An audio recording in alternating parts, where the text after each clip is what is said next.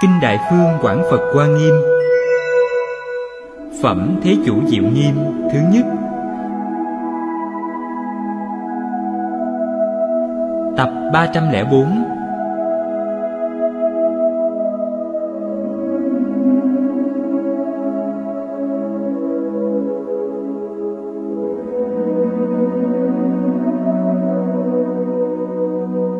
Chủ giảng, Tịnh Không Lão Pháp Sư. Chuyển ngữ. Thích Tâm Anh. Biên tập Nguyên Anh. Thời gian ngày 22 tháng 5 năm 2000 Địa điểm Tịnh Tông Học hội, Singapore.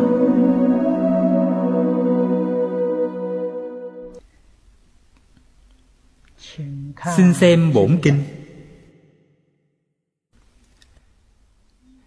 Dạ xoa dương kệ tụng.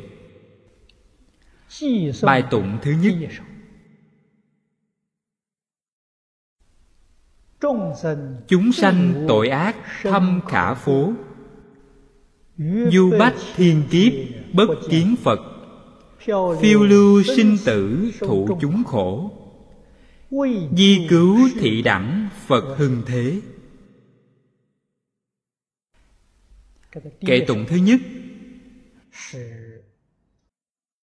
là tỳ sa môn dạ xoa dư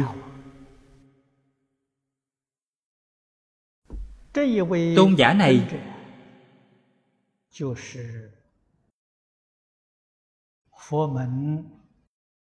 chính là bắc phương đa văn thiên dương trong tứ đại thiên dương trong nhà chùa hay thờ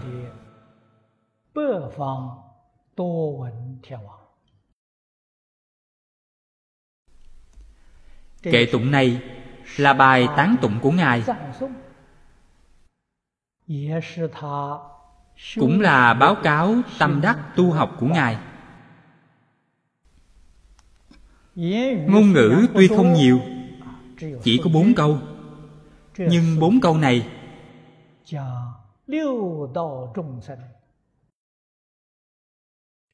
Đã nói hết nhân quả nghiệp báo của chúng sanh Trong sáu đường.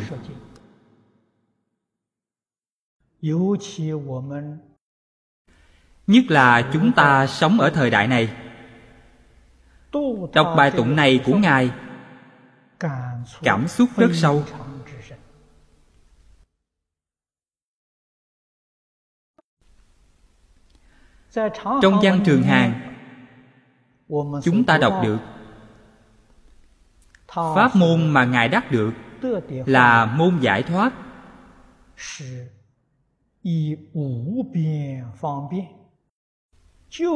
dùng vô biên phương tiện cứu hộ chúng sanh ác。ác nhất định có khổ cho nên pháp thế xuất thế gian nói trắng ra không có gì khác chỉ là một cái nhân quả báo ứng pháp thế gian. Quyết không lìa nguyên tắc này. Pháp xuất thế gian cũng không rời nguyên tắc này. Cổ đại đức giảng kinh hoa nghiêm.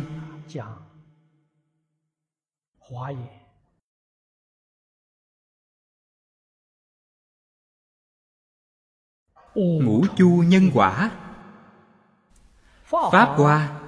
Nhất thừa nhân quả cho nên phật pháp cũng không thể rời nhân quả. Chính là pháp nhân duyên sanh. Cho nên phật nhiều lần dặn dò đại chúng. Học phật nhất thiết không nên chấp trước phật pháp. Vì sao? Phật pháp là duyên sanh. Bạn chấp trước là sai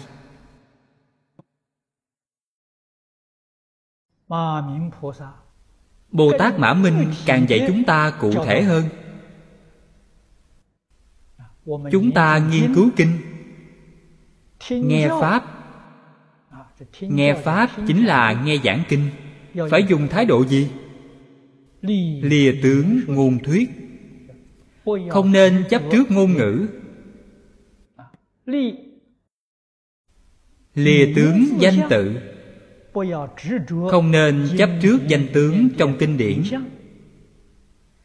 Lìa tướng tâm duyên. Không nên suy nghĩ ý nghĩa gì trong kinh. Không được nghĩ. Như vậy bạn mới có thể chân chánh đạt được nghĩa chân thật của phật nói. Nghĩa chân thật là gì? Nghĩa chân thật là công đức trí huệ bát nhã vốn có của tự tánh. Đó là nghĩa chân thật bạn mới có thể đạt được. Nếu bạn chấp trước tướng ngôn thuyết, phân biệt ngôn thuyết, chấp trước ngôn thuyết, phân biệt danh tướng, chấp trước danh tướng chính mình đang đoán ý nghĩa mà kinh điển muốn nói. Đó không phải là ý của phật, đó là ý của bạn. Vậy chúng ta lại hỏi, ý của phật là gì? Phật chẳng có ý gì cả. Ý của phật chính là công đức trí huệ vốn có của tự tánh. Đó là ý của phật. Nếu phật có ý, thì phật không khác với phàm phu chúng ta đạo lý này chúng ta phải hiểu. Sau đó bạn học phật bạn mới khai ngộ. bạn mới có thể khế nhập cảnh giới của như lai.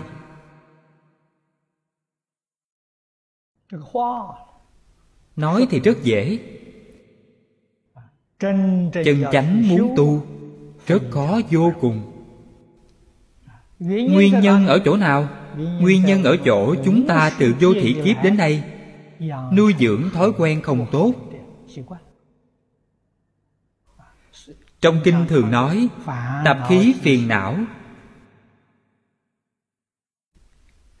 Chúng ta trong tất cả thời, tất cả chỗ, khởi tâm động niệm đều bị tập khí phiền não trói buộc.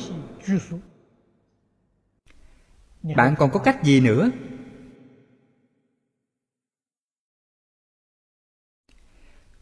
Phật bồ tát độ chúng ta thế nào? Chúng ta ở đây thấy được đa văn thiên dương là atula dương.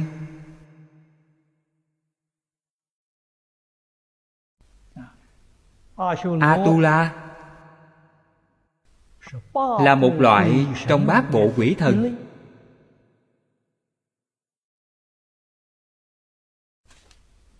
Thiện ít ác nhiều.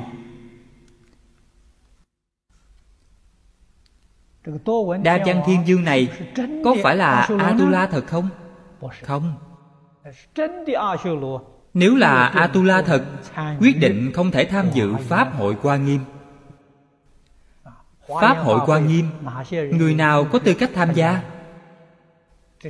Mọi người học phật đều biết các pháp thân đại sĩ trong 41 phẩm vị mới có tư cách tham gia pháp hội này.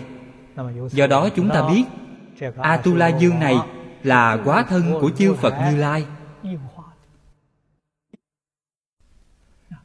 Giống như trong phẩm phổ môn nói cần dùng thân atula để độ. Bồ tát quan âm liền hiện thân atula mà nói pháp.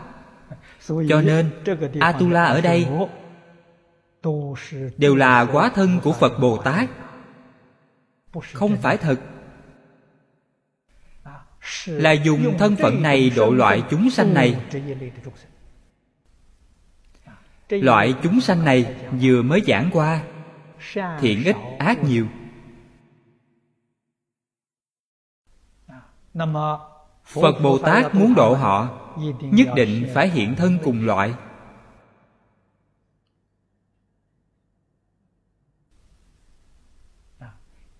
kết thành một khối với họ. Để cảm hóa những chúng sanh này. Đây là phương tiện khéo léo quá độ chúng sanh của bồ tát. gọi là độ chúng sanh. chữ độ này ý nghĩa thế nào? Giúp chúng sanh hồi đầu giúp đỡ chúng sanh lìa khổ được vui. Giúp đỡ chúng sanh thành tựu thiện đức trí huệ viên mãn cứu cánh. Độ, là nghĩ như vậy.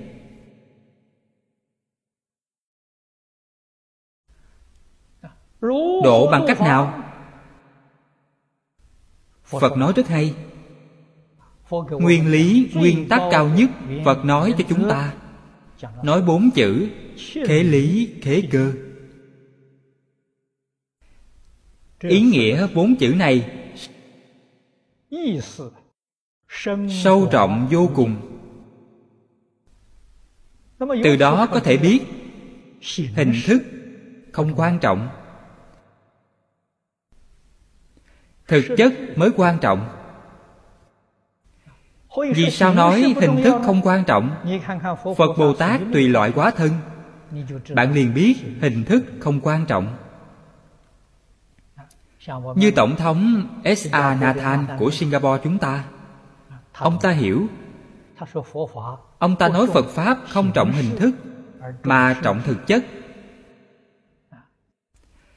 Thế nào gọi là không trọng hình thức? Tùy loại quá thân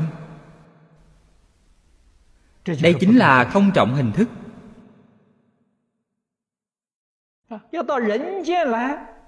Muốn đến nhân gian để giáo hóa nhân đạo phật bồ tát liền hiện thân người.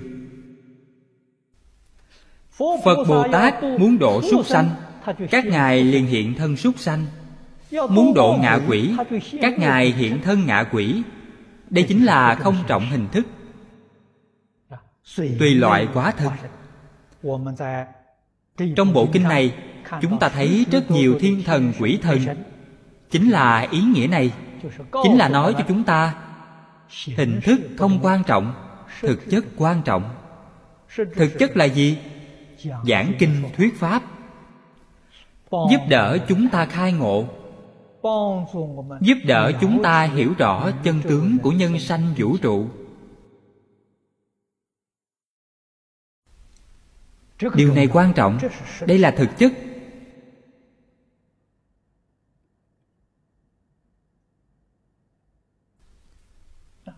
Chúng ta hiểu được đạo lý này. Thế xuất thế pháp đều không ngoài nguyên tắc này. Cho nên có người hỏi tôi xã hội hiện đại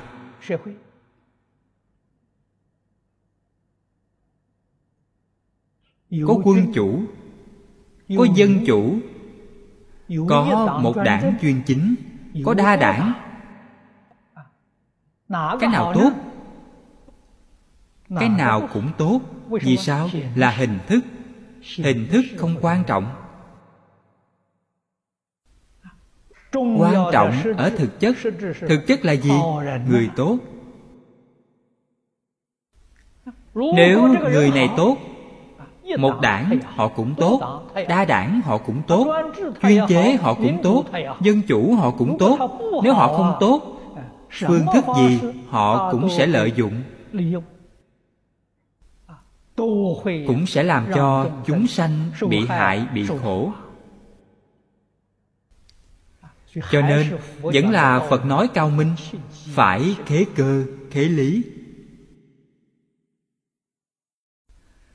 lời này của phật đúng là chúng ta tìm không ra một tơ hào sai sút. Nói đích xác là cứu cánh viên mãn.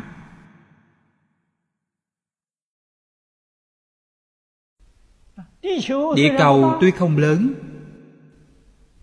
mỗi nơi do lịch sử quá khứ văn hóa phương thức sống không giống nhau. do đó cũng không thể dùng cùng một phương pháp. Dùng một phương pháp là không khế cơ.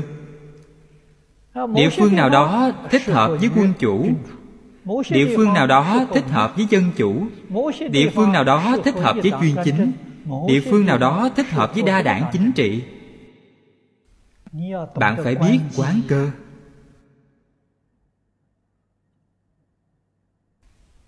xã hội an định phồn vinh. hòa bình thịnh vượng nhân dân hạnh phúc. Quyết định ở bốn điều kiện. bốn điều kiện này là giáo dục. Thứ nhất là giáo dục gia đình. Thứ hai là giáo dục học đường thứ ba là giáo dục xã hội. Thứ tư là giáo dục tôn giáo. Tôn giáo là gì? Một lần, khi phỏng vấn ở bắc kinh, chúng tôi có được cơ hội ngày đêm ở cùng với chính tôn giáo lớn.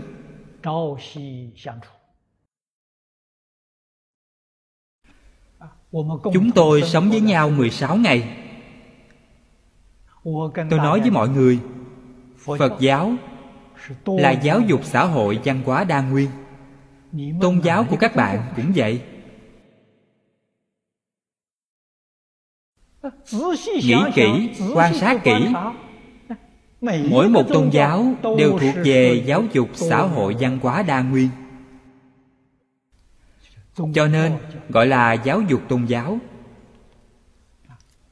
Bốn cây cột chống đỡ an định hòa bình hạnh phúc này giống như căn nhà, bốn cây trụ này thiếu một cây. Căn nhà này sẽ sụp đổ. Và bốn loại giáo dục này, giáo dục gia đình là gốc, giáo dục tôn giáo là viên mãn.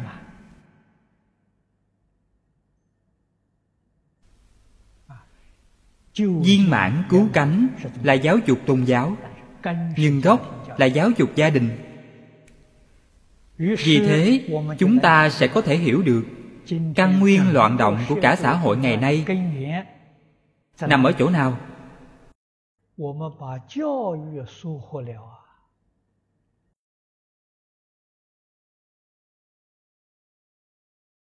Sở dĩ 世界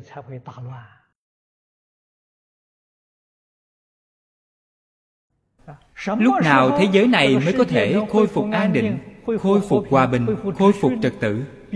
điều này cần phải là tìm lại bốn loại giáo dục này.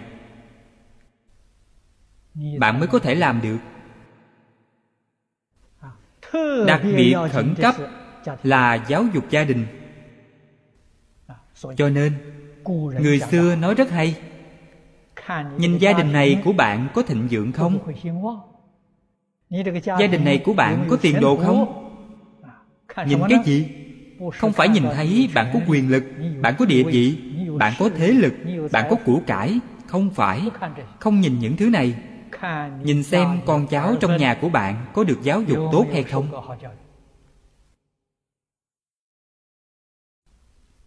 Cùng một đạo lý.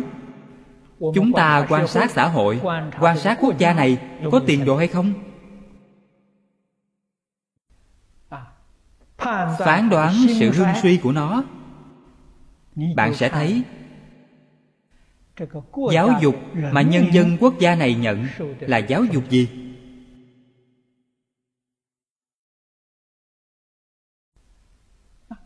Nếu người người đều hiểu lý đều như pháp đều được thọ giáo dục tốt thì tiền đồ dân tộc quốc gia này là vô lượng.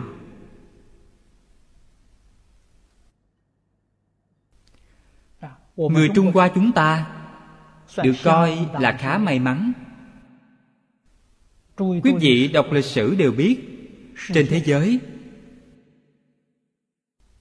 có bốn nền văn minh lớn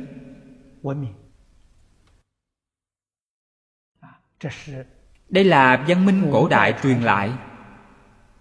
Nhưng ngày nay, trong bốn nền văn minh này, thì ba nền văn minh đã không còn.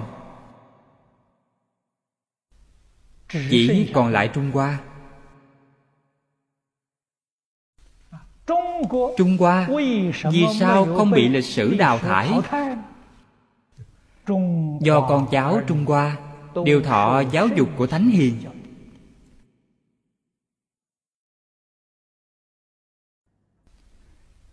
Cho nên truyền được năm ngàn năm. Vẫn đứng được ở thế gian này. đạo lý nằm ở chỗ này. Hiện tại thực sự có nguy cơ. Nguy cơ từ đâu đến? là tính tâm đã dao động đối với giáo dục của tổ tông xưa.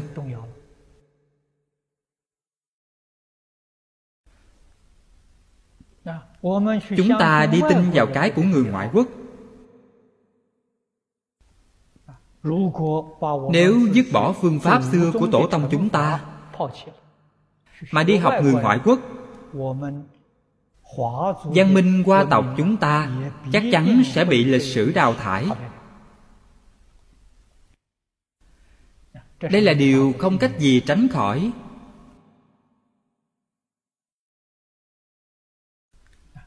Hôm nay nói đến khôi phục trật tự xã hội khôi phục hòa bình an định thế giới.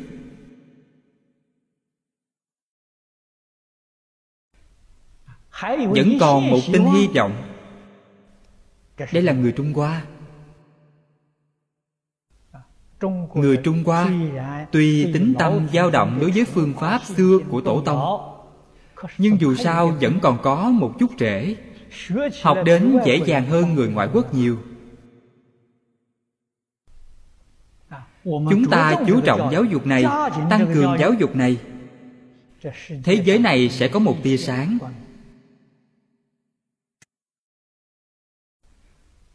Trung hoa được cứu thế giới liền được cứu.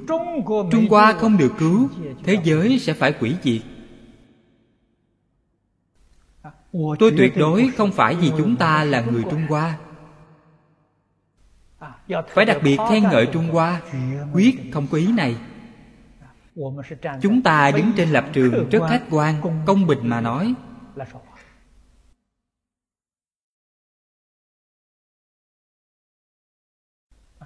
những lời này đều có căn cứ lý luận.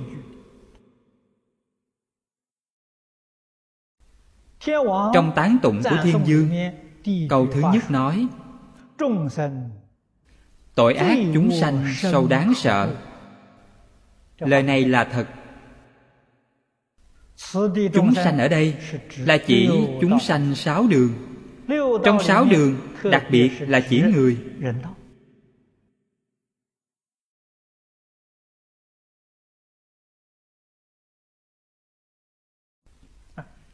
căn nguyên của tội ác là gì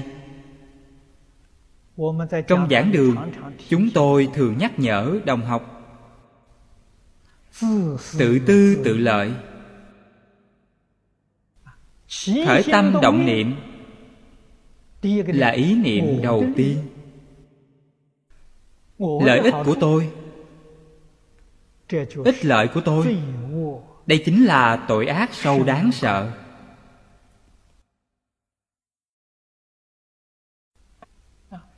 Vì chính mình thì không thể không làm những việc tổn hại người khác. Tổn hại này có lớn có nhỏ có hữu ý có vô ý.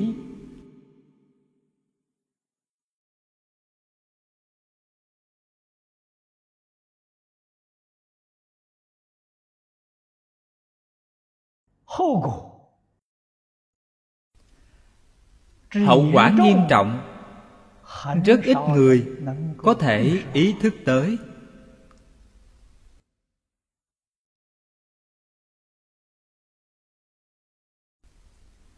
Một câu nói một hành động. Rốt ráo tạo thành hậu quả gì? Cần phải có đủ trí huệ chân thật. Nhà phật thường nói người mắt sáng mới có thể thấy được người thông thường chúng ta không dễ nhìn thấy. Chính mình càng mê hoặc điên đảo.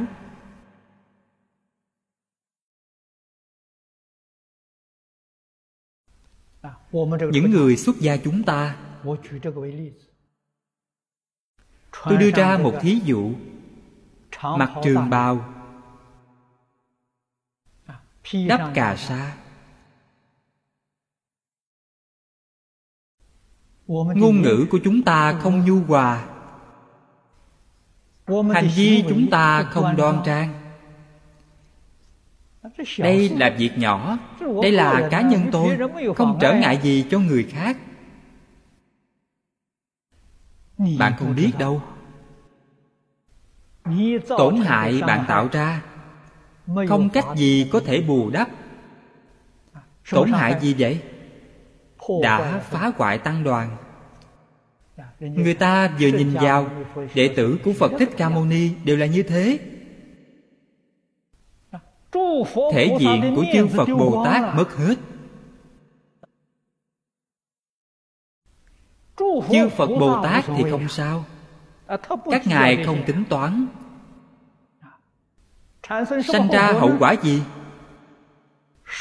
nhưng rất nhiều chúng sanh trong thập pháp giới thấy được dáng vẻ này của bạn khiến mất niềm tin đối với giáo huấn của phật.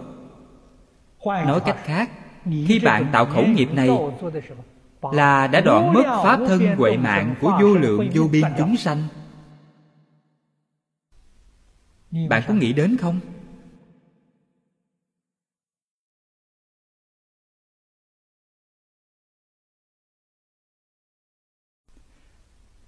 nếu quả thực là một người thông minh lanh lợi y giáo phụng hành. Đoạn ác tu thiện đây cũng là việc nhỏ. Khởi tâm động niệm kiểm thúc một chút. Trước khi nói suy nghĩ cho kỹ. Cổ nhân đã dạy nói năng ít nhắm mắt nhiều nhắm mắt dưỡng thần nói nhiều hao hơi. Những người nói nhiều phần nhiều là đoản mệnh. Điều này bạn kỹ càng có thể điều tra một chút. Người thọ mệnh dài nhất định nói năng ít. Người nói nhiều mà thọ mạng dài thì rất ít. Bị tổn khí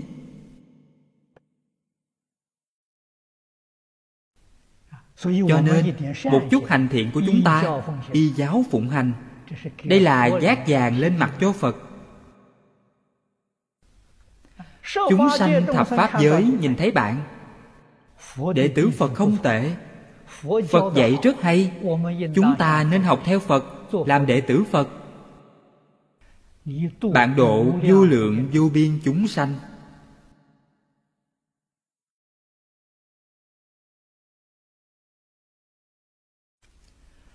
Cho nên tôi thường khuyên các đồng tu khi chúng ta khởi lên một niệm chính mình nhất định phải biết ý niệm này có nên khởi hay không.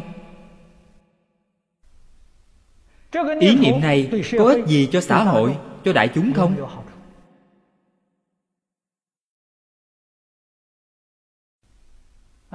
nếu không có ích ý niệm này không nên khởi. Tôi khởi tâm động niệm nói năng tạo tác có ích cho xã hội, cho đại chúng. Ý niệm này phải khởi. Đó là ý niệm thiện. Người với người, vì sao không thể chung sống hòa bình? Tội ác này sâu nặng, đáng sợ. Chuyên thấy khuyết điểm của người khác chuyên bới móc lỗi lầm của người khác. Vậy làm sao có thể ở chung với người?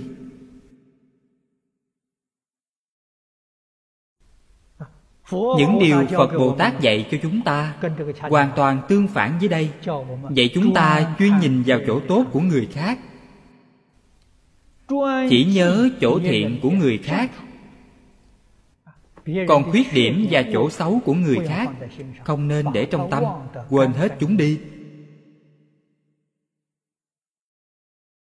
Làm cho tâm chúng ta là tâm thiện. Ý niệm là niệm thiện, hành vi là hành động thiện. Người thuần thiện, người này gọi là phật, gọi là bồ tát. Từ đó có thể biết, làm người ác, làm người thiện đều trong một niệm của chính mình.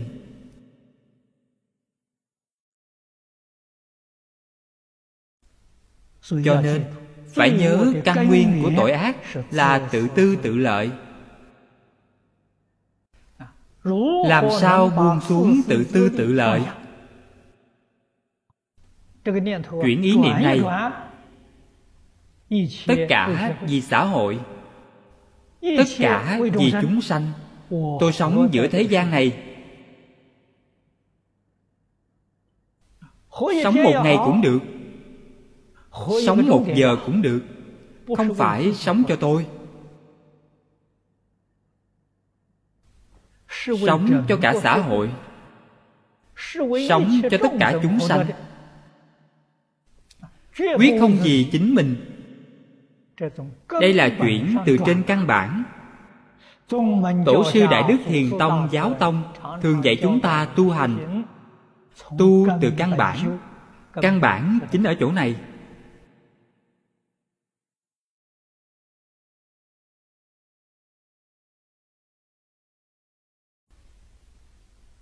nhưng tập khí phàm phu quá nặng. Chính mình không biết lỗi của mình.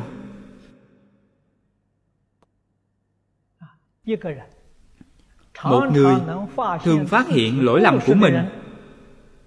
trong phật pháp gọi người này đã giác ngộ. Đã khai ngộ. Thế nào gọi là khai ngộ? Họ đã bắt đầu giác ngộ. Biết lỗi lầm của mình chưa khai ngộ tức là không biết lỗi lầm của chính mình chỉ nhìn thấy lỗi của người khác. Lỗi của người khác họ biết rõ lỗi của chính mình thì không biết gì. Đây là đại bệnh của chúng ta. Chúng ta học phật không thể thành tựu nguyên nhân ở chỗ này. Vậy phải làm sao thấy lỗi lầm của người khác chớ có để ý đến họ. lập tức hồi quan phản chiếu ta có hay không mượn người khác làm tấm gương. Thấy chỗ tốt của người khác nghĩ lại ta có chỗ tốt này hay không? Nếu có phải phát triển thêm. Nếu không có lập tức học hỏi. Thấy lỗi lầm của người khác lập tức phản tỉnh chính mình có hay không nếu có lập tức phải sửa. Nếu không có quyết định sẽ không phạm lỗi lầm này. Đây là tứ chánh cần nhà Phật nói trong 37 phẩm trợ đạo.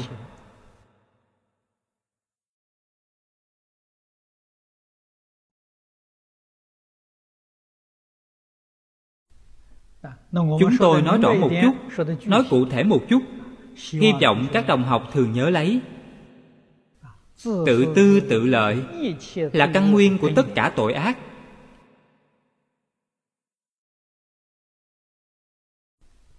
Thị phi nhân ngã, Danh văn lợi dưỡng, Tham sân si mạng, Đều là đại căn nguyên của tất cả tội ác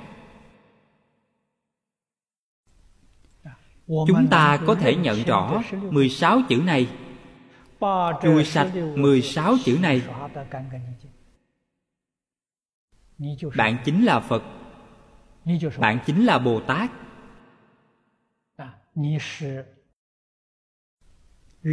Bạn là thiên chân phật viên mãn tròn đầy.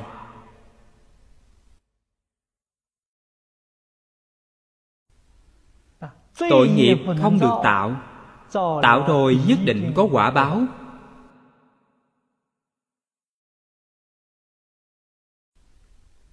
Trung hoa. Ngoại quốc người xưa người nay đều thường nói. Chúng ta hy vọng người khác đối đãi mình như thế nào? Trước tiên chúng ta phải đối đãi người khác như thế ấy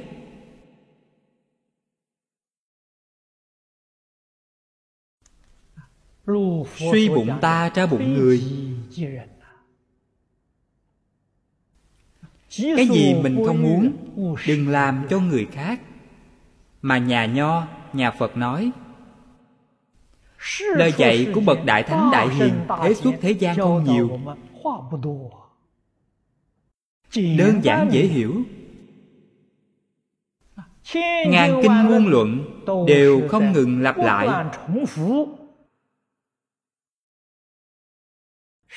Trình bày mấy câu này mà thôi.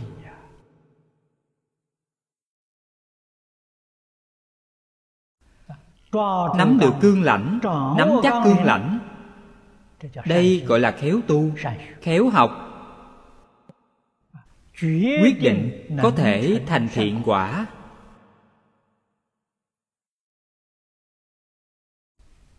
Tiêu chuẩn thiện ác.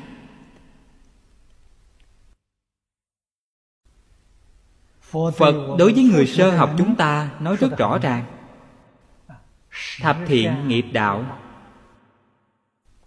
Đây là tiêu chuẩn. Tuy nói mười điều, cảnh giới nghĩa thú trong mỗi điều đều sâu rộng vô cùng.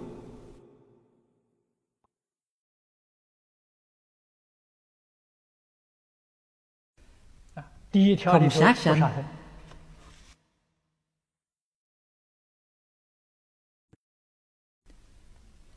trong điều đầu tiên cần phải đoạn dứt ý niệm tổn hại người khác trong tâm。thiện này của bạn liền có gốc rễ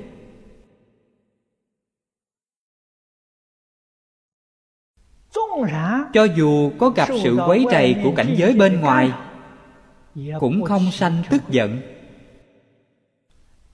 Bình thường hay gặp nhất là mũi kiến ruồi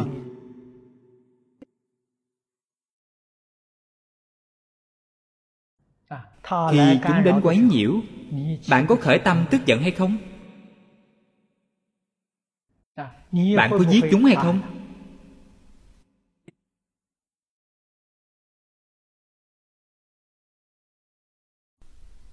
trong tâm niệm bồ tát chúng là chúng sanh. Chúng cũng đi kiếm sống. đi kiếm ăn. chúng không phạm tội chết.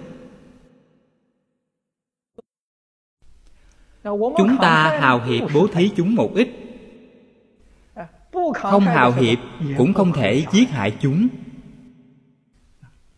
Cần phải giác ngộ. chúng là một sanh mạng bạn giết chết nó.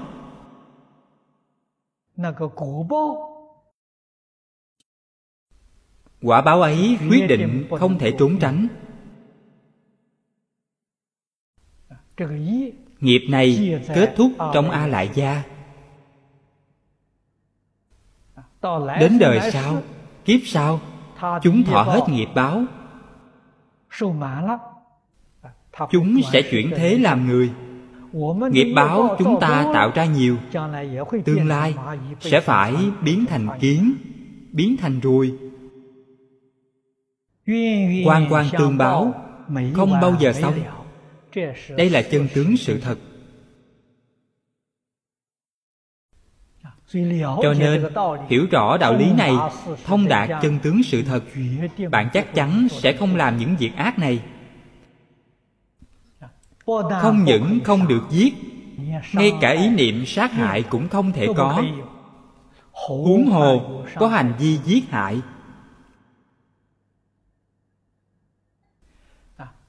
Thật sự nuôi lớn chính mình một mảng từ bi. Từ bi là tánh đức. Trong bản tánh chân tâm của chúng ta vốn chính là từ bi chân thành thanh tịnh ái tâm bình đẳng. Ái hộ tất cả chúng sanh. Không trộm cắp. Chúng ta nói câu này rõ ràng hơn một tí. Tuyệt không thể có ý niệm chiếm lợi của người khác. Có một tơ hào ý niệm chiếm lợi của người khác cũng thuộc về trộm cắp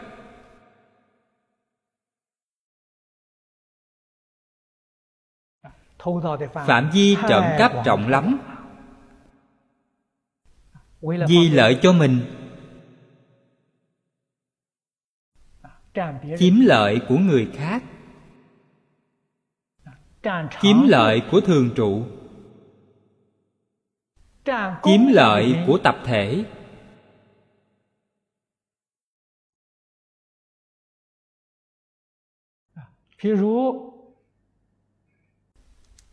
thí như điện thoại công cộng của tập thể.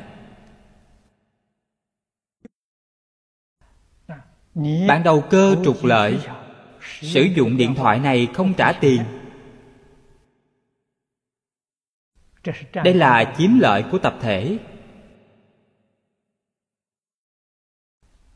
Đừng cho rằng đây là việc nhỏ. mấy đồng tiền này không là cái gì nhưng tội này kết nặng. Bạn chiếm lợi của một người. Chủ nợ tương lai bạn trả nợ là một người.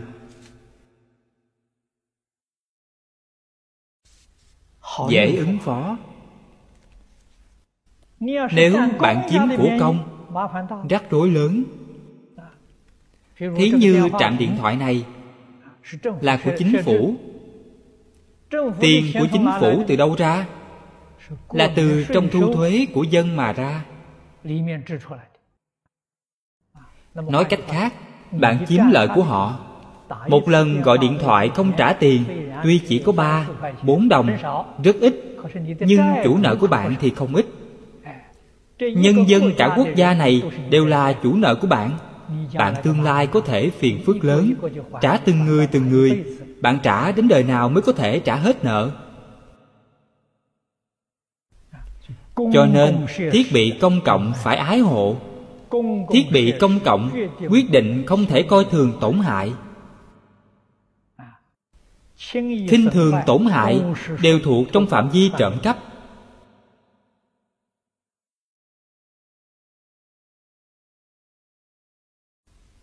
dùng tâm khinh mạng. chính là bạn không tôn trọng nhân dân khu vực này.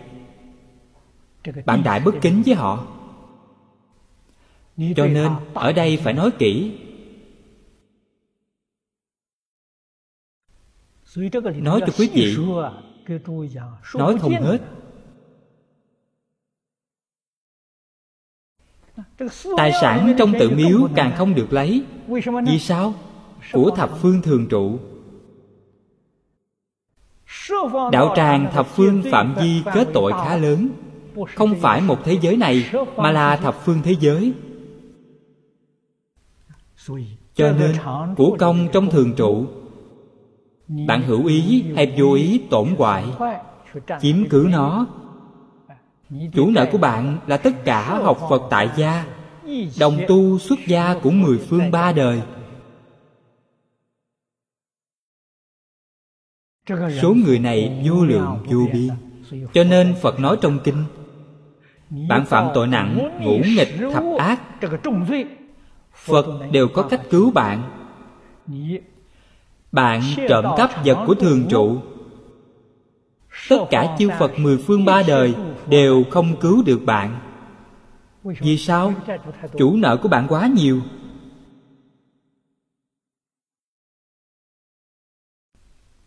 Bạn biết yêu tiếc vật của thường trụ. yêu tiếc là bạn tôn trọng thường trụ. Là bạn tôn trọng tất cả người con phật khắp hư không pháp giới. Quý vị phải hiểu cũng trong một niệm này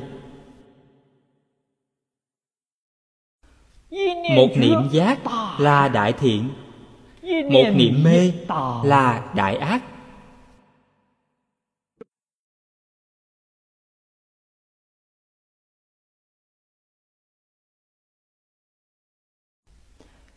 trong quá trình học phật của chúng ta.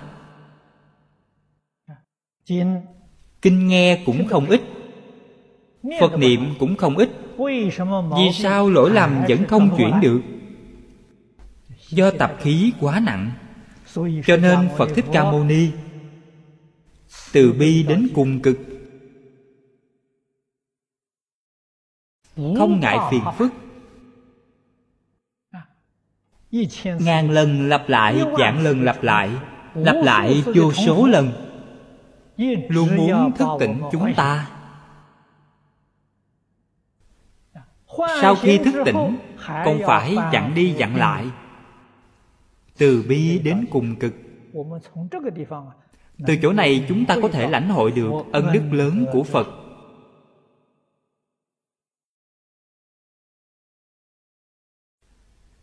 câu này chúng ta phải nhớ kỹ.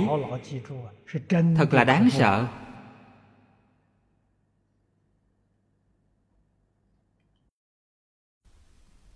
chúng sanh này khẳng định chính là chính mình. Trong trăm ngàn kiếp không gặp phật. Đây là quả báo. vì bạn có nghiệp chướng cho nên bạn không gặp được phật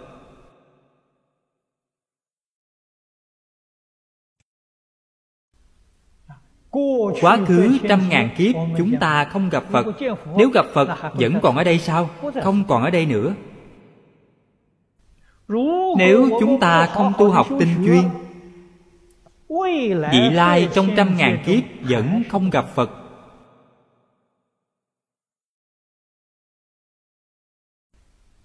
Gặp phật có hai nghĩa. Trên tướng mà nói là gặp chư phật bồ tát trên lý mà nói là minh tâm kiến tánh. Kiến tánh mới là chân chánh gặp phật.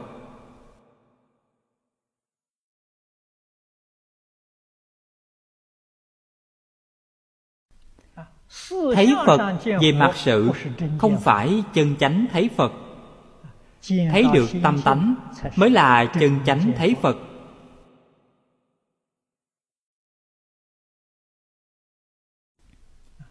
Chỗ này còn có một nghĩa. thấy phật bạn mới tiếp nhận giáo huấn của phật.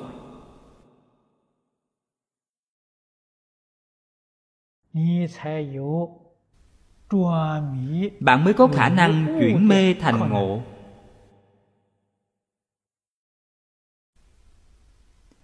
thấy phật này chính là gặp chân thiện tri thức. Gặp được phật pháp chân chánh.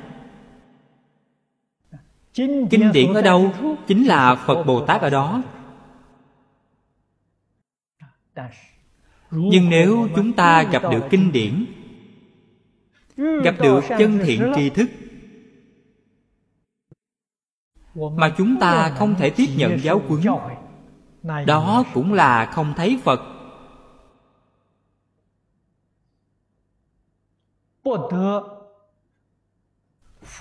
Không được lợi ích chân thật giáo huấn của phật pháp. nguyên nhân là gì? là tội nghiệp quá nặng.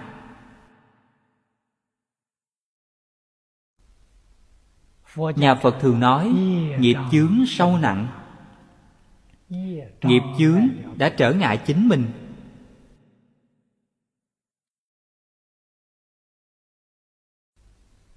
vậy phải làm thế nào? Làm sao tiêu trừ nghiệp chướng? khai phát trí huệ chân thật của tự tánh. Trong a nan vấn phật các hung kinh phật nói cho chúng ta điều kiện đầu tiên là thân cận minh sư phật nói không sai nhưng sự thật rất khó. Minh sư ở đâu?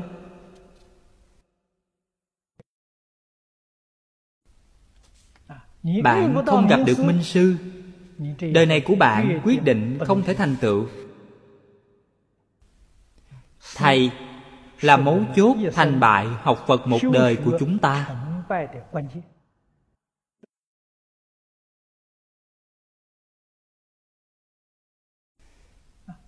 tiêu chuẩn của thầy tốt là gì? Không ở nơi thầy ấy mà ở nơi tính tâm của chính mình.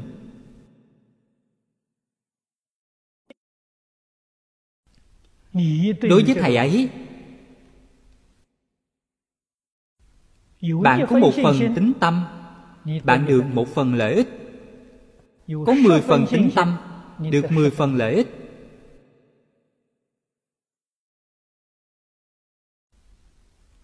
trong ấn quan đại sư văn sao nói rất hay. Có người thỉnh giáo với ngài. Ngài nói một phần thành kính được một phần lợi ích mười phần thành kính được mười phần lợi ích.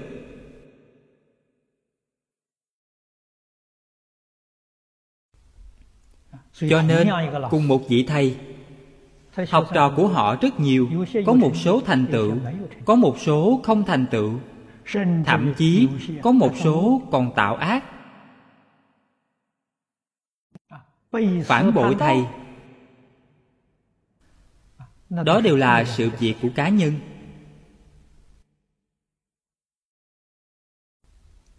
Chúng ta phải hiểu đạo lý này. Cho nên tiêu chuẩn để thân cận thiện tri thức là thân cận vị nào mà trong tâm mình ngưỡng mộ tôn kính thầy. bạn sẽ có thành tựu. Bạn ngưỡng mộ họ tôn kính họ bạn sẽ hoàn toàn nghe lời chỉ bảo của họ. Dân theo một trăm phần trăm bạn chắc chắn có thành tựu. Cho dù thầy có tốt đến mấy là phật bồ tát chuyển thế tái lai đi nữa mà bạn không có tính tâm với họ.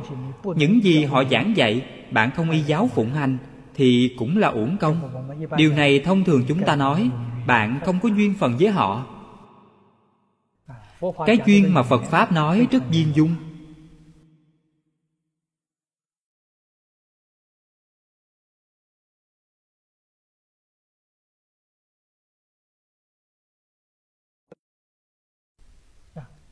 Cả đời tôi, trong thời gian cầu học, tôi có ba thầy giáo. Vị thứ nhất là tiên sinh phương đông mỹ ngày xưa tôi học triết học với ông ta ông ta đã dắt tôi vào cửa phật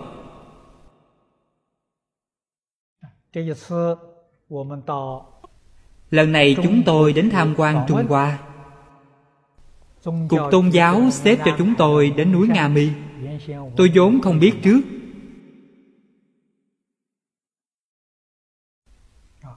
sau khi đến thành đô nghe nói có núi nga mi. Trong hành trình này tôi vô cùng quan hỷ. Tôi nói đó là quê hương của tôi. Nhân duyên học phật của tôi có quan hệ mật thiết với núi nga mi. Năm xưa phương tiên sinh giảng bài cho tôi. Một cuối cùng là triết học kinh phật tôi thỉnh giáo với cụ, triết học kinh phật của thầy từ đâu đến? Ông ấy nói với tôi, trong thời kỳ kháng chiến, ông ta dạy học ở đại học trung ương. Lúc ấy, đại học trung ương ở trùng khánh. Có một lần ông ấy bị bệnh, dưỡng bệnh ở núi nga mi ông ấy nói trên núi không có báo cũng không có tạp chí không có bất cứ cái gì. Ngoài kinh phật không có gì để đọc. Cho nên ngày ngày xem kinh phật càng xem càng có ý vị. Ông ta học phật ở đây. rồi lại phát hiện kinh phật. Là triết học cao nhất trong tất cả triết học. Nhất là kinh hoa nghiêm ông ấy tán thán hoa nghiêm. Là phật học khái luận hay nhất trên toàn thế giới. Ông ấy nói rất cụ thể. Trong bộ kinh này có lý luận viên mãn. Có phương pháp tỉ mỉ chặt chẽ. 53 tham cuối cùng còn hàm chứa biểu diễn. Biểu diễn cho bạn xem trên thế giới không tìm ra loại sách giáo khoa thứ hai giống phương pháp này. Ông ta giới thiệu phật pháp cho tôi. Phật pháp của ông ta bắt đầu từ núi nga mi. Cho nên lần này có cơ hội đến chùa Dạng Niên núi Nga Mi. Đảnh lễ tượng đồng Bồ Tát Phổ Hiền. Bức tượng đúc này rất trang nghiêm Trước đây chúng tôi chỉ thấy trong hình ảnh. Lần này có cơ hội đi tham phỏng này. Đó cũng là cảm ứng. Chúng tôi đang giảng bộ kinh này. Tôi cầu nguyện Bồ Tát Phổ Hiền gia trì.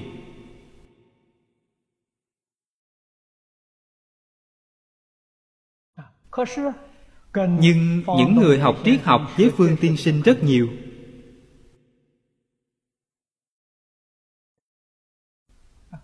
Thành tựu của chúng tôi khác nhau. Vì sao? Do tâm cung kính của học trò đối với thầy khác nhau.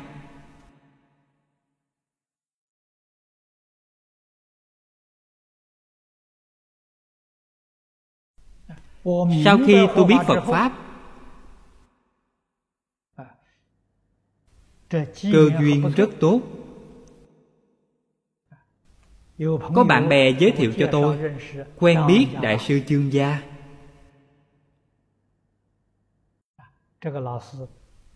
Đại sư rất từ bi.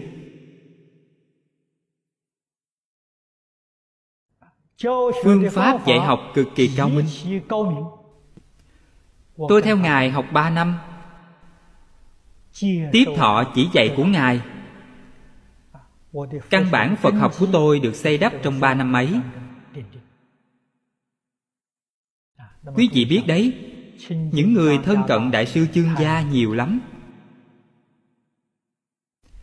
Tôi có được chút ít thành tựu vì nguyên nhân gì? Do tôn sư trọng đạo.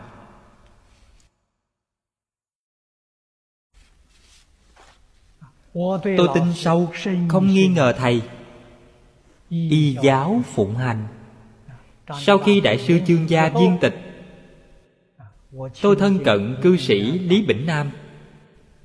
Dưới tòa ngày mười năm, không có gì khác. Chỉ biết nghe lời, tôn kính. Trong tâm ngưỡng mộ, tôn kính. Cùng lúc ấy, người khác nói, tôi không nghe theo, không tiếp thọ. Thầy giảng, tôi liền tiếp thọ. Liền tin tưởng.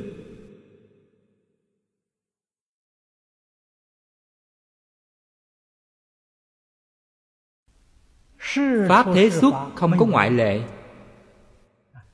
Bạn muốn thành tựu bạn phải thân cận thiện tri thức. Và thái độ khi thân cận thiện tri thức. Trong tứ thập quan nghiêm đại sư thanh lương giảng rất rõ ràng rất minh bạch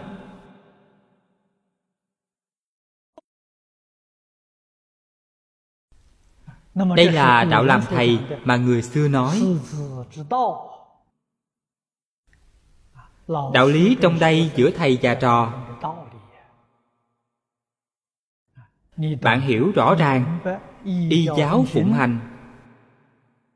Nào có lý không thành tựu.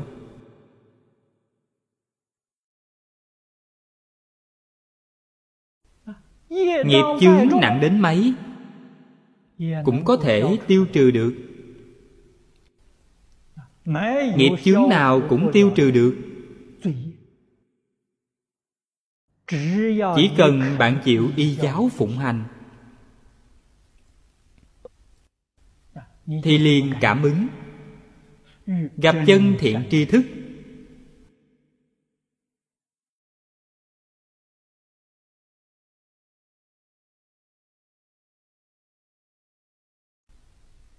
thọ giáo quấn của thiện tri thức. Thật sự nỗ lực đoạn ác tu thiện chuyển mê thành ngộ. Tự nhiên siêu phàm nhập thánh.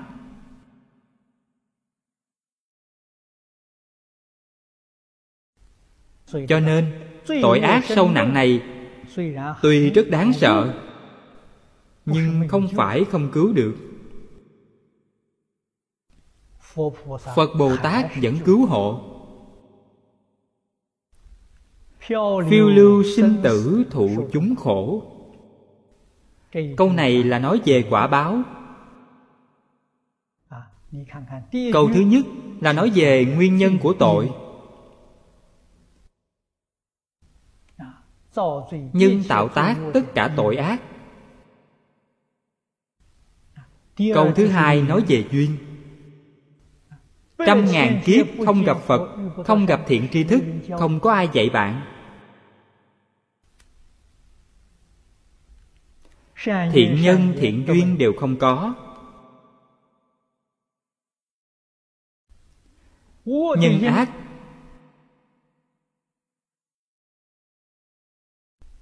Rất sâu dày. Duyên ác. Trong xã hội hiện tại này cảnh giới sáu căn chúng ta tiếp xúc đều là duyên. Thì làm sao không tạo ác nghiệp? Đã tạo ác nghiệp phiêu lưu sinh tử. Đây chính là khổ chịu luân hồi sanh tử trong sáu đường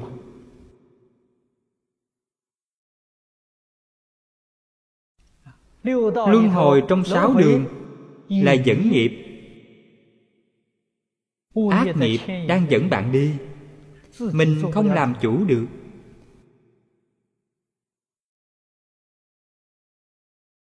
Những thứ mà một đời này chúng ta thọ nhận. Nhà phật gọi là bát khổ. Sinh lão bệnh tử ái biệt ly quán tăng hội cầu bất đắc ngủ ấm xí thịnh. Đây là chịu các khổ. Nhưng chúng ta phải biết những thứ một đời chúng ta nhận chính là nghiệp nhân đời trước tạo. Nhân duyên thành thục quả báo hiện tiền cho nên người giác ngộ trước mắt cho dù chịu khổ báo nhiều bao nhiêu họ biết rõ đây là nghiệp cảm của chính mình. tuyệt không quán trời trách người. Nghiệp này liền tiêu mất.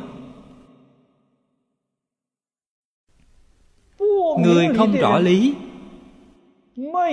người không có thầy dạy bảo họ mê hoặc. Họ không cam nhận chịu khổ báo này. Luôn cảm giác rằng người này có lỗi với họ người kia có lỗi với họ phật bồ tát có lỗi với họ ông trời có lỗi với họ đều là người khác sai.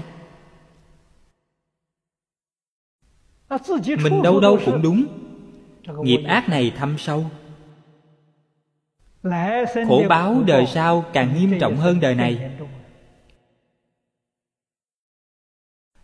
người ta nếu không giác ngộ khả phố là thật sự đáng thương đáng sợ. Ngày càng đi xuống.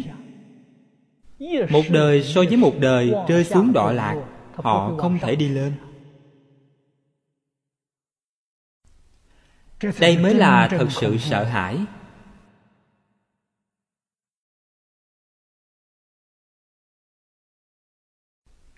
cho nên, giáo dục quan trọng hơn bất cứ gì. Phật pháp là giáo dục trí huệ chân thật.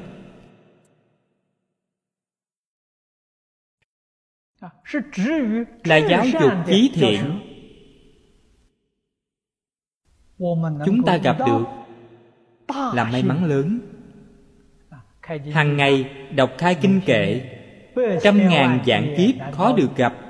Câu này là thật, không phải giả. Không nên cho rằng ngày nay chúng ta gặp phật dễ dàng như thế. Cảm thấy không khó. Bạn thử nghĩ một chút. Không cần nghĩ quá nhiều. Bạn thử nghĩ khu vực singapore này. Ba triệu nhân khẩu. Có mấy người có thể đến đây nghe kinh? Bạn liền hiểu, không dễ gặp được. Ngay trong thành phố này, họ còn không nghe nói ở đây có người giảng kinh.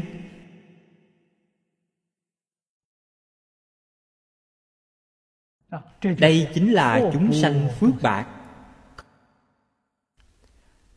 Không có duyên nghe phật pháp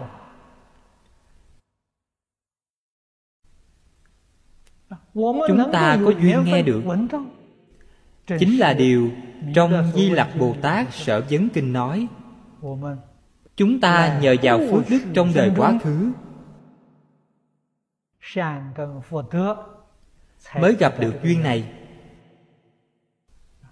Trong đời quá khứ không có thiện căn phước đức sâu dày. Không gặp được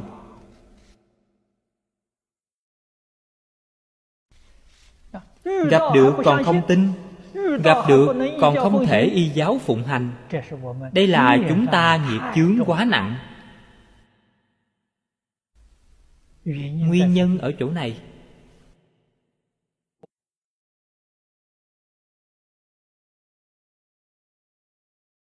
Nghiệp nhân quả báo vô cùng phức tạp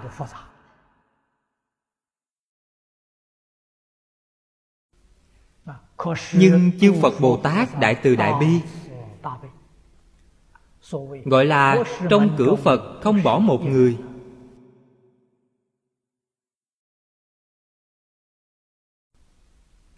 Mắt thịt phàm phu chúng ta không nhận ra. Phật rõ biết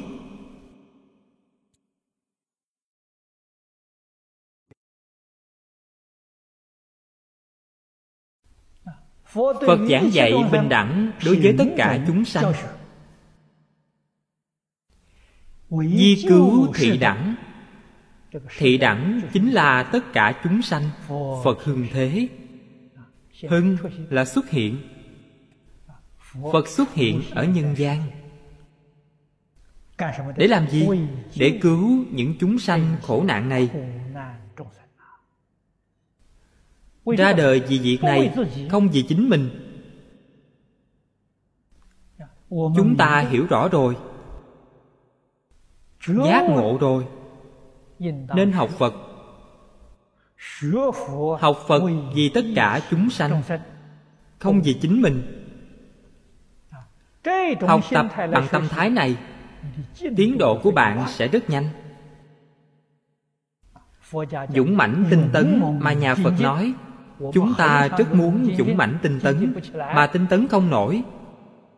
Là vì sao? Chúng ta không phát tâm vì chúng sanh. Vì phật pháp không phát tâm này.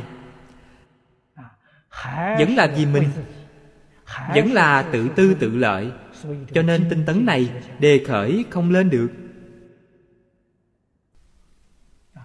Chân chánh phát tâm tự nhiên liền dũng mãnh tinh tấn。tự nhiên trong đây được chư phật hộ niệm。được oai thần bổ nguyện của di đà gia trì。được trời rồng thiện thần ủng hộ。chư phật bồ tát trời trong thiện thân.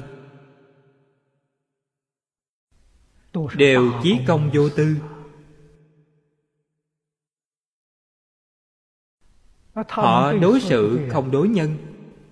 Bạn chân thật phát tâm chân thật tu hành các ngài sẽ chân thật ủng hộ. Nếu bạn hư tình giả ý. họ sẽ không chú ý tới bạn. Ngày ngày nhớ tới họ ngày ngày cúng dường họ họ cũng sẽ không quan tâm các ngài không phải là quan tham.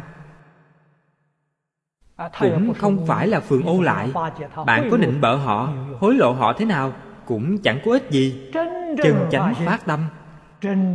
Chân chánh hiếu học. Chân chánh y giáo phụng hành. tự nhiên chiêu cảm. Chúng ta phải hiểu rõ đạo lý này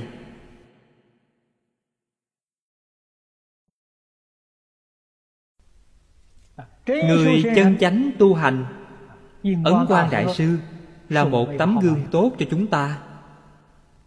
Trong phật đường của ngài chỉ thờ một tượng phật a di đà không có bất cứ thứ gì khác. Chư phật cũng hộ niệm ngài. Chư bồ tát cũng bảo hộ ngài. Thân hộ pháp cũng chiếu cố ngài. hoàn toàn không phải nói ngài không thờ bồ tát bồ tát liền không đến không thờ thần hộ pháp. hộ pháp liền không đến không có việc này. Chúng ta ngày ngày đang vọng tưởng. Trong phật đường thờ đủ các hình tượng phật bồ tát. Tôn tượng phật bồ tát nào không thờ sợ mắc tội. Đây đều là tâm vọng tưởng đều là tự tư tự lợi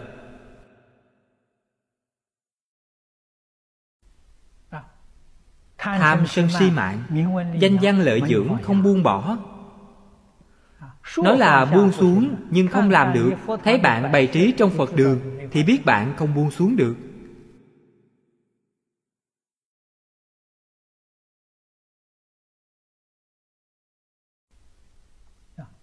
Chúng ta học phật phải biết học từ đâu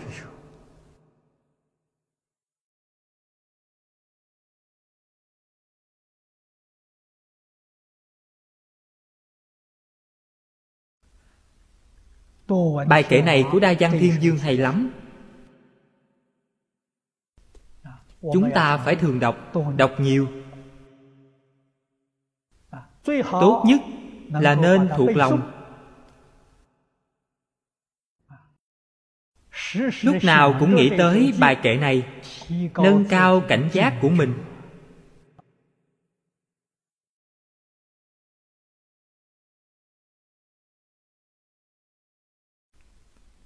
tất cả thời tất cả chỗ.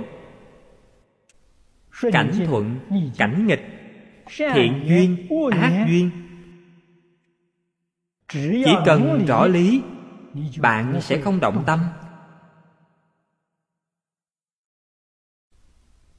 Chân chánh có thể làm được tùy duyên mà không phan duyên bồ tát phổ hiền dạy cho chúng ta hằng thuận chúng sanh, tùy hỷ công đức. Hai câu này hay lắm. Tất cả đều tùy thuận, tùy duyên tiêu nghiệp cũ. Không tạo lại nghiệp mới. Cái ác của chúng ta liền có thể đoạn tận thiện lành của chúng ta liền có thể viên mãn.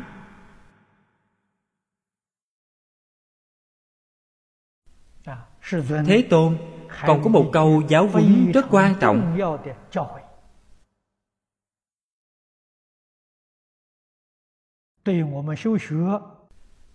có lợi ích lớn đối với tu học của chúng ta đó chính là trong hành trì đời sống hàng ngày. Không cho phép có một chút bất thiện xen tạp.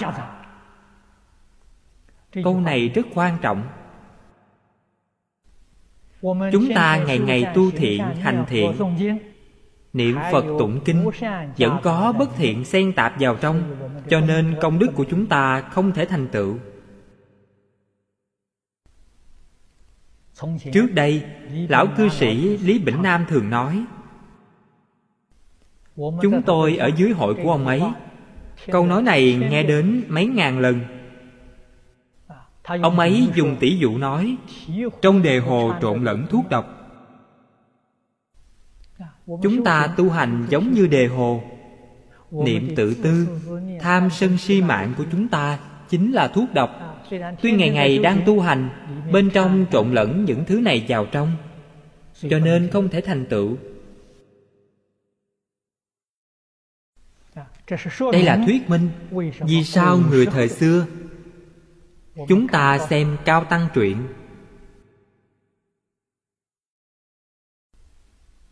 Xem cư sĩ truyện thị nữ nhân truyện Bốn chúng đồng tu xuất gia Tại gia Thời xưa tu hành ba năm năm năm.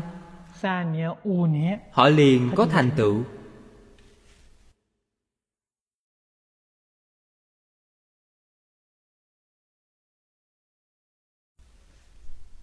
Thành tựu thấp nhất Là phiền não nhẹ Trí huệ trưởng Phước báo hiện tiền.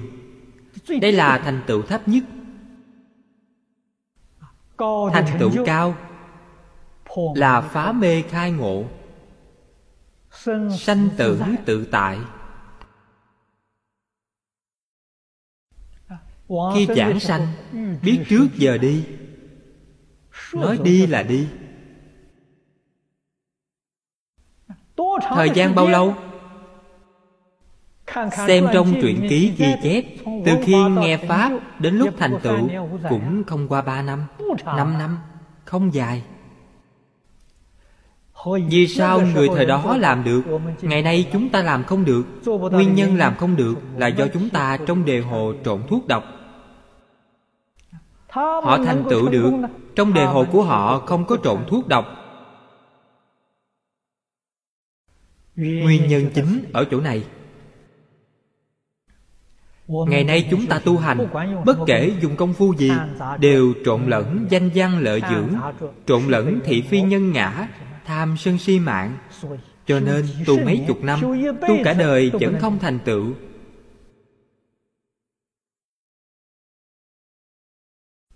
Chúng ta phải nắm rõ Minh bạch sự việc Chân tướng sự thật này. Không bao giờ trộn lẫn nữa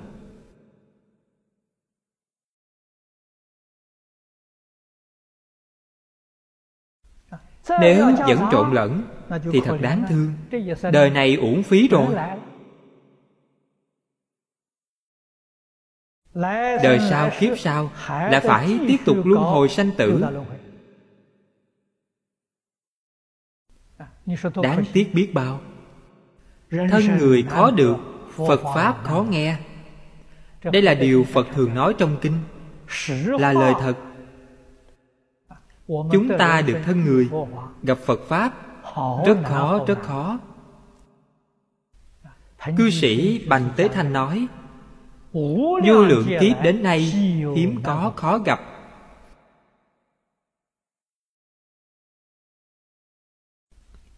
Đời này của chúng ta đã gặp. Gặp được nếu không trân trọng không quý trọng đáng tiếc lắm thầy biết bao người muốn gặp mà không gặp được. Ngày nay chúng ta gặp được chúng ta coi thường lãng phí như vậy. Vậy không phải là tội lỗi sao?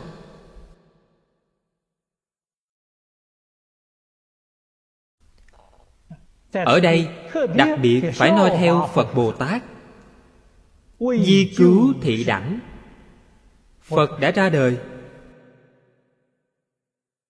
Chúng ta phải noi theo phật bồ tát phải học theo phật bồ tát. chính mình không những y giáo phụng hành còn phải giúp đỡ tất cả chúng sanh hữu duyên.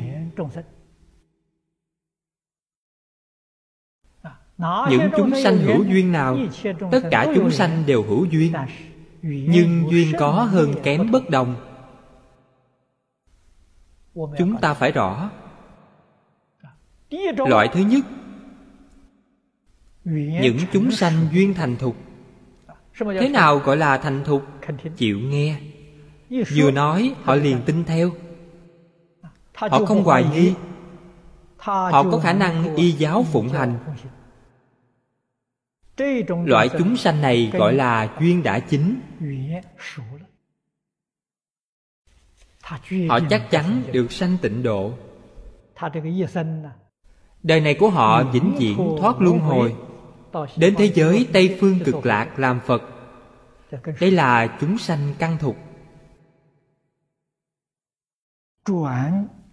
Chuyển ý niệm rất nhanh.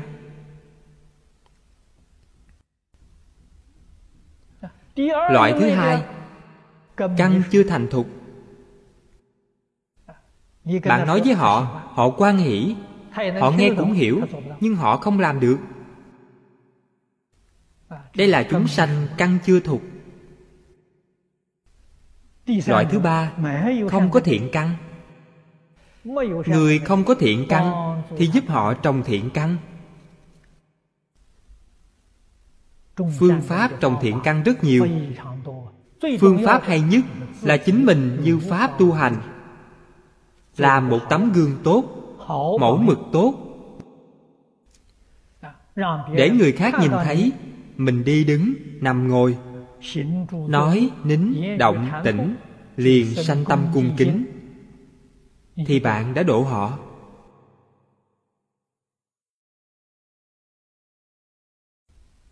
Họ cung kính bạn. Họ liền kính phật pháp. Bạn là đệ tử phật. Bạn đã được sự giáo dục của phật giáo dục của phật tốt như vậy như vậy khiến người tôn kính. Cho nên nhất cử nhất động khởi tâm động niệm của chúng ta không thể không lưu ý. Không được có lỗi lầm với phật bồ tát không được có lỗi lầm với đại đức tổ sư không được có lỗi lầm với lục đạo chúng sanh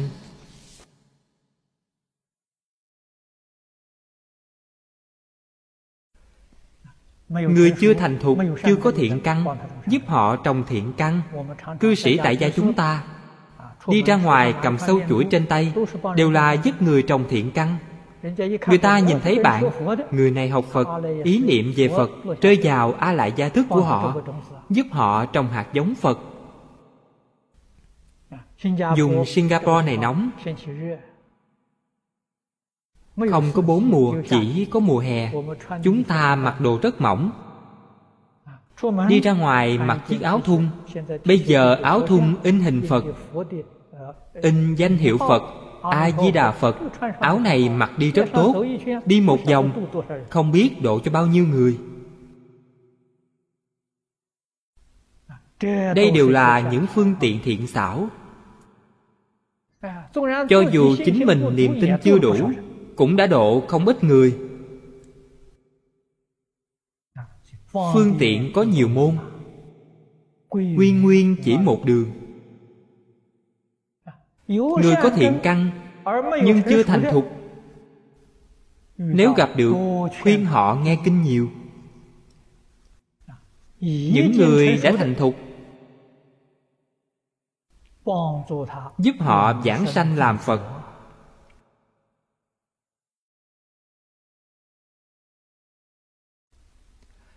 Đại từ bồ tát nói rất hay. Nếu trong đời này của chúng ta chân chánh giúp được hai ba người giảng sanh.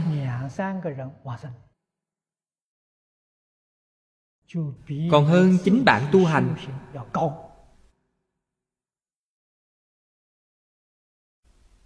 Cao hơn ở chỗ nào? Hai ba người giảng sanh này đến khi thọ mạng của chính ta hết công phu của ta còn kém một chút. E sợ ta giảng sanh không được.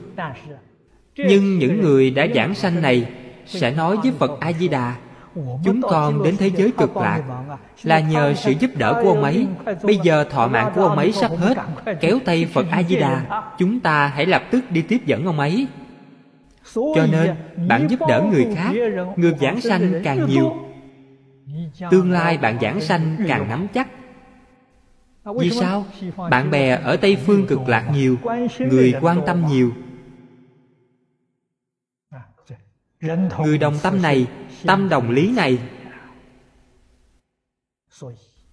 Cho nên, nhất định chính mình tu tập cho thật tốt, còn phải giúp đỡ người khác tu hành. Phương pháp để giúp đỡ người khác tu hành quan trọng nhất là chính mình phải y giáo phụng hành. Phải làm tấm gương học phật tốt nhất. Tại gia phải làm tấm gương tốt cho người tại gia. Xuất gia phải làm tấm gương tốt cho người xuất gia. Đạo tràng phải làm tấm gương tốt cho tất cả đạo tràng. Đây chính là học di nhân sư, hành vi thế phạm. Hôm nay thời gian đã hết. Chúng tôi chỉ giảng đến đây.